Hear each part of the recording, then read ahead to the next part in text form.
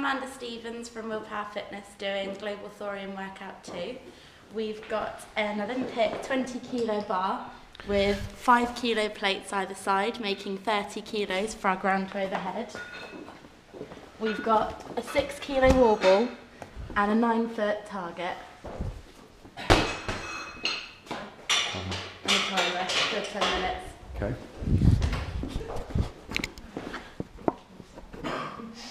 Energy.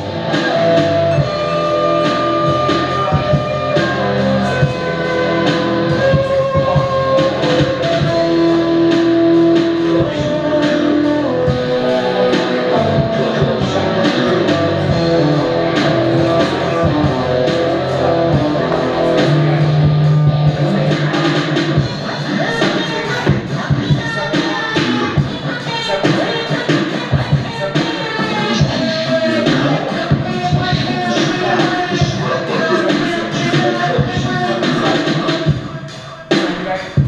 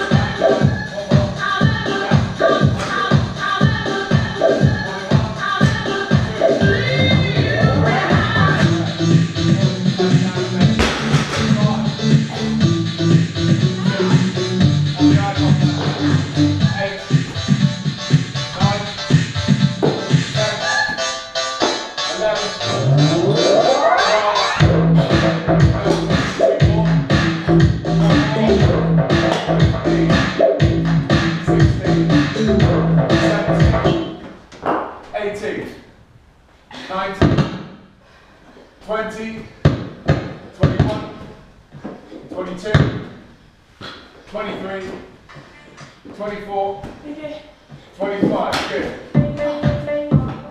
26, 27, 28, 29, 30, 32, get to 40, AJ, 33,